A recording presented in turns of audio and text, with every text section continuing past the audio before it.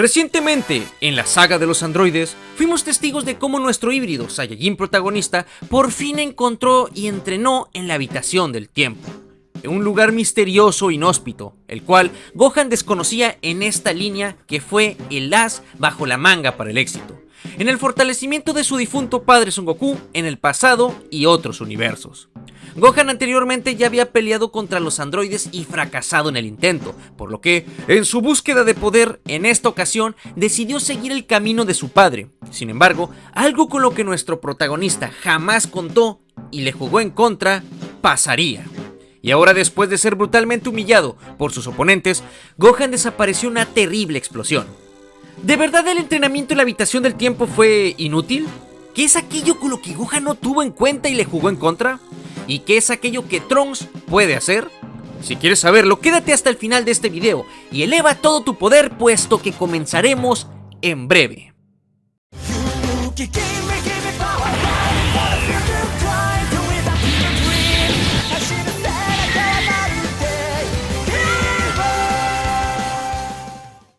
Gohan habría despertado poco tiempo después de la explosión, sin embargo, no despertaría en el lugar de los hechos donde se dieron la batalla, sino que más bien despertó en la corporación Cápsula, donde yacía Bulma y Trunks esperando su despertar.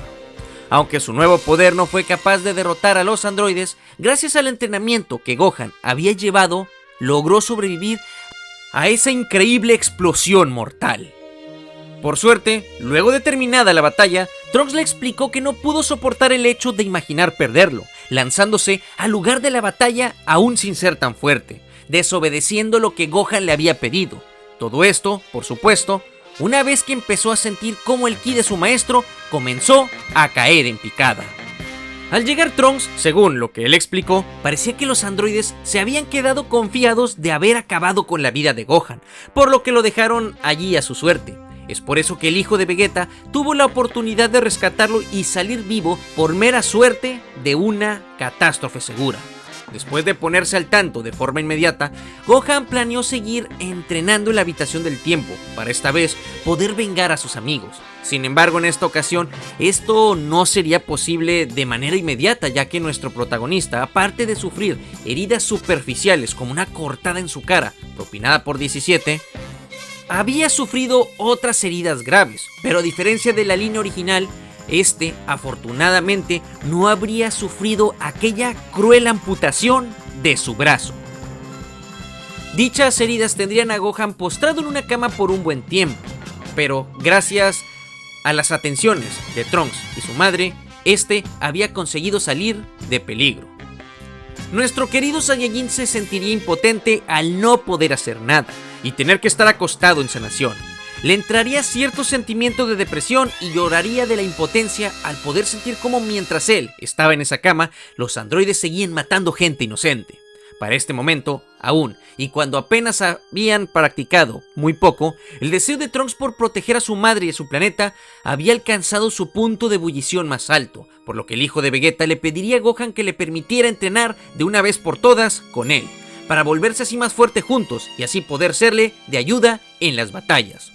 Gohan seguiría negándose rotundamente al no querer meter al apenas adolescente Trunks a una posible y más que segura muerte cruel.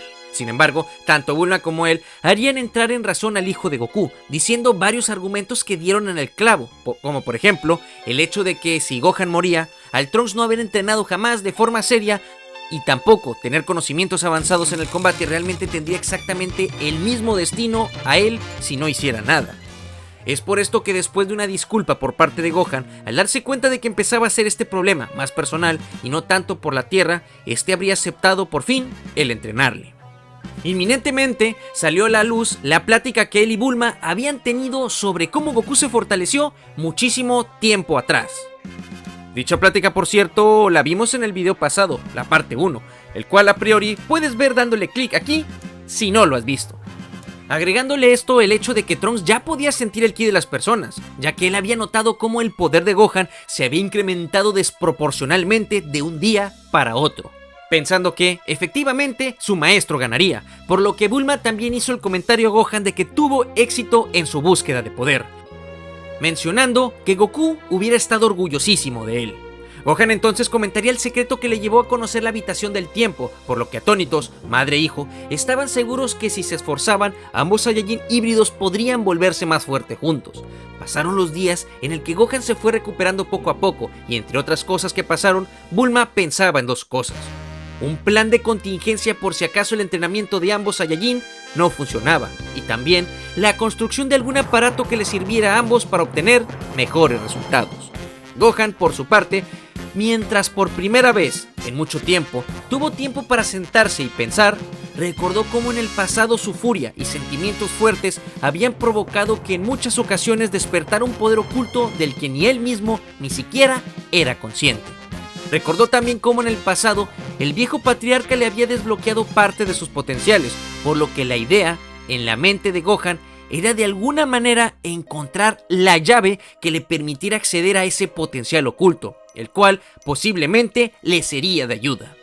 Otra cosa en la que Gohan tuvo tiempo de pensar aprovechando su gran inteligencia y su mente, ahora más calmada, era en reflexionar acerca de los verdaderos poderes de sus enemigos androides, llegando rápido a la conclusión de que estos eran mucho más fuertes de lo que él o Trunks habían pensado.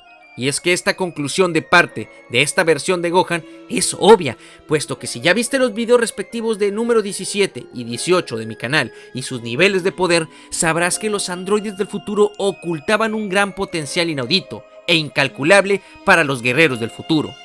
¿Quieres saber cuáles eran los verdaderos alcances de los androides? Pues ve estos videos que te aparecerán aquí arriba en estos momentos. Una vez terminados un par de meses para la recuperación de Gohan, ambos Saiyajin y Bulma habían tenido muchísimo tiempo para pensar y hacer varias cosillas, por lo que ambos guerreros partirían al templo de Kamisama para entrenar, esta vez juntos. No sin antes recibir un par de trajes de combate como los que usaba el ejército de Freezer en el pasado, los cuales le permitirían a ambos Saiyajin poder entrenar con una mayor seguridad al no haber semillas del ermitaño y también unas cápsulas con herramientas tecnológicas medicinales avanzadas para poder atenderse en dado caso que las necesitaran. Ambos Saiyajin llegarían al templo sagrado de Kamisama, sin embargo, en la entrada ya los esperaba Mr. Popo, con un gran comentario que Gohan, al igual que el anterior, no tomó en cuenta sobre su propio poder, pero aún más del potencial latente de Trunks. Chicos, esto ha sido todo por el momento. Espero que puedan reventar el botón de likes para traerles la siguiente parte lo más rápido posible, la cual culminará los acontecimientos de esta cruel historia alterna.